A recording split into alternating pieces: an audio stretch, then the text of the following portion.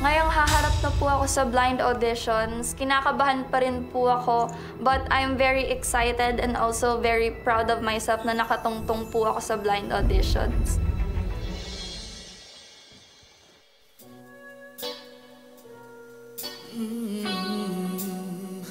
Mapapansin kaya Uy, Ako'y magkukunwari na sa nararamdaman Kahit walang pumapagitan Ikaw ang tanging gustong pagmastan O sana ako'y pagbigyan Kahit tagal nang hinihintay. Bawat saglit sumasablay Na parang isang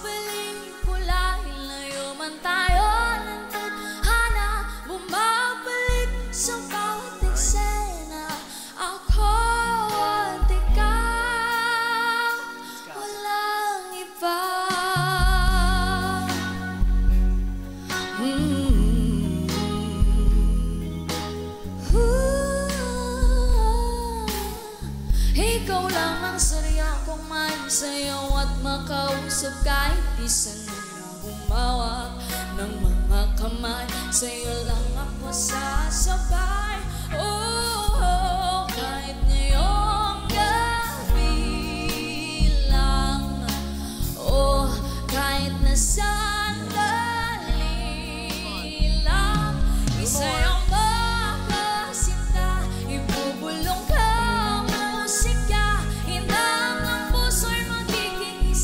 Takbo ng mundo'y magpapahinga Na parang isang pelikula Ilayo man tayo ng tadhana Bumabalik sa bawat eksena Ako at ikaw Walang iba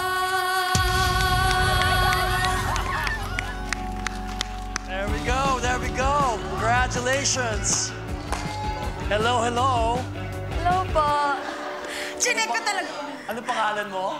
I'm Antoinette Pauline po. Pauline, paano nakatulong ang pagkanta sa'yo? Nakatulong po sa akin yung pagkanta ko po um, to gain my self-confidence po. And syempre po, ano, yung mga nakaka-inspire po yung pagkanta ko po sa ibang tao.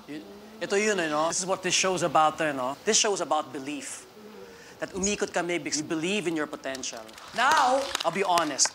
On the busier sections, some notes were not being hit, no? Understandable, right? Because sa akin, that vocal quality you have is very nice. Ready ka na eh. So, alam ko kung makapunta ang Camp Kawayan, it's, it's a matter of how hard do you want to work for this. It's about work ethic. Ulit-ulitin natin yung kanta na yan until malinis yan. This is the gift of the show, Paulino. Another gift ng music is hindi ka solitary, hindi mag-isa yung journey ito. It's a collaboration. We are built because the people we meet along the way. eh.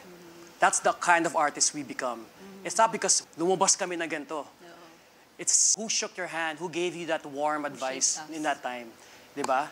So, I'm so happy for you that you're gonna have three coaches here. Pero, sana makapunta ka po, ayan. All right. ang gusto ko talaga yung, yung tones ng boses mo. Napaka-sweet yung tones. Siyempre, I cannot see you, di ba?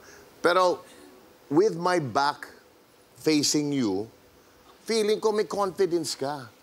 Yung sinasabi mo wala kang confidence, ang hinahanap mo yung confidence mo, nandyan na.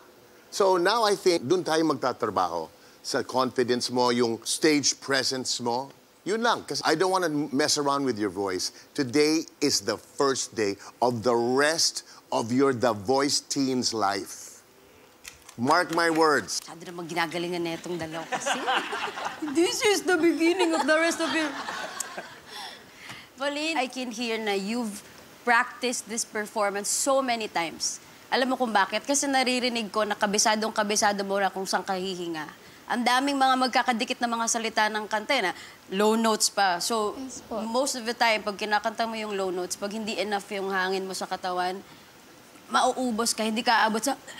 Gaganyan ka. Kanina, ang daming magkakadikit, pero lahat nahahatid mo siya. And that tells me so much about you. Yung attitude mo as a performer, as an artist. Grabe yung dedication mo sa art mo. And I am looking for that type of artist na willing to go the extra mile. Kung nagpa-practice ng tatlong beses yung ibang tao, magpa-practice ako ng sampu. Ganon yung hinahanap ko, yung artists na hindi pwede, yung pwede na yan. And I see that in you. And I hope that you choose me as your coach kasi kung ako yung pipiliin mo, hahanap pa tayo ng marami pang kanta na ma- mapapakita mo yung mga kakayanan mo at pwede mo pang paliparin. Ngayon, nasabi na namin sa yung lahat ng mga bagay na kailangan namin sabihin. Ikaw naman, ikaw na, nasa iyo na ang bola. Ikaw naman ang pipili kung kaninong coach mo gustong mapunta.